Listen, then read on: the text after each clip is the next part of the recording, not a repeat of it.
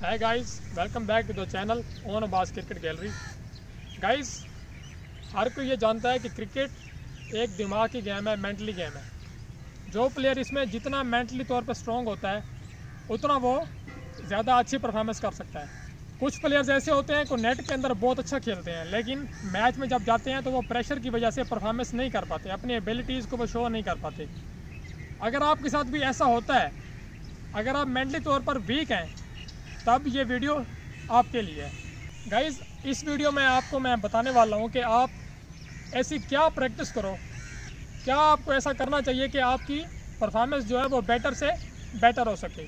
Guys आपकी performance में जो सबसे ज़्यादा रोल प्ले करती है वो है आपकी फ़िटनेस आपकी फ़िटनेस आपकी अच्छी डाइट और आपका अच्छा रेस्ट जितना आपको रेस्ट चाहिए, आप उतना रेस्ट करेंगे।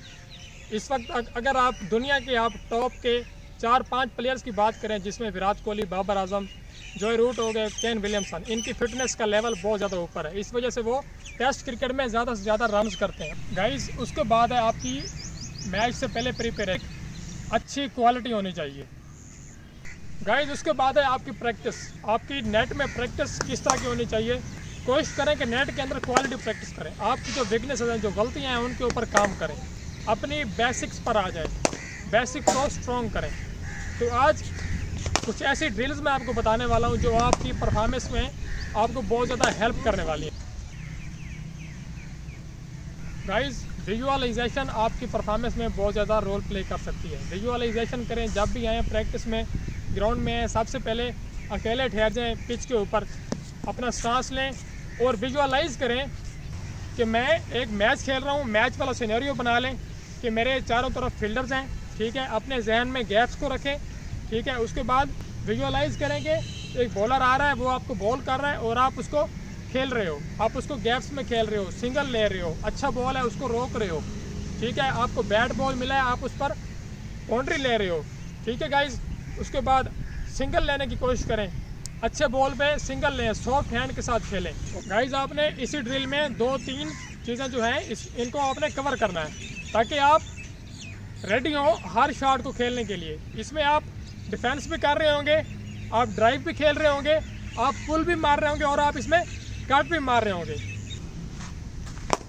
तो इससे क्या होगा कि आप जब इतने शॉर्ट टाइम में आप रैपिड रैपिड फायर करेंगे ड्राइव खेलेंगे कट खेलेंगे पुल मारेंगे तो गाइज़ आप मैच में जब आप खेल रहे होंगे, वहाँ पर आपके पास काफ़ी टाइम होता है। तो जब आपके पास इतना टाइम होगा, तब आपको जहाँ पर बॉल मिलेगी, आप ऑटोमेटिकली प्रिपेयर होंगे आप उसको खेलने के लिए।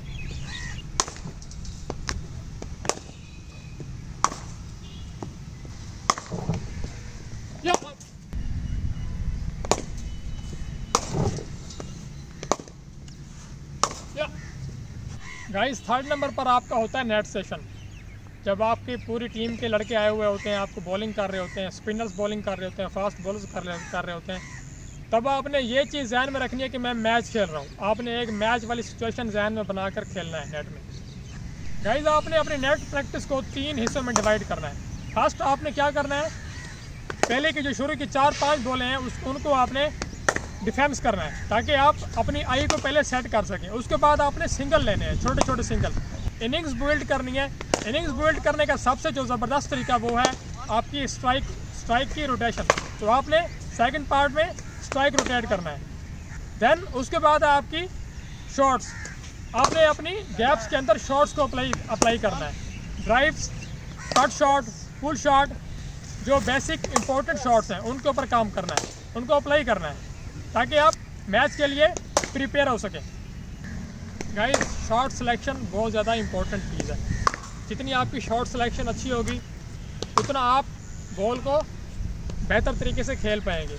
जहाँ पर आपको बैट बॉल मिलेगा, आप उसको कैश पर, कैश कर पाएँगे। तो आपकी शॉर्ट सिलेक्शन आपके पास बड़ी इंपॉर्टेंट चीज़। गाइज़ आई होप के आज की वीडियो आपको हमारी बहुत अच्छी लगी होगी। आपको बहुत ज़्यादा फ़ायदा होने वाला है ये चीज़ें करने के बाद, और आपकी परफॉर्मेंस बहुत ज़्यादा बेटर होगी इससे। गाइज़ चैनल पर आने का बहुत बहुत शुक्रिया। अगर आपने चैनल को अभी तक सब्सक्राइब नहीं किया तो चैनल को सब्सक्राइब कर दें और बेल आइकन को भी हिट कर दें, ताकि आपको हमारी आने वाले नेक्स्ट वीडियो मिल सके। Thank you for watching guys thank you अल्लाह हाफिज़।